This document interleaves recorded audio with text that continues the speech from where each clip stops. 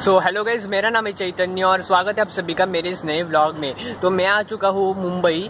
तो आज हम ऐसे कुछ स्पॉट्स कवर करेंगे जो इससे पहले मैंने कवर नहीं किए थे।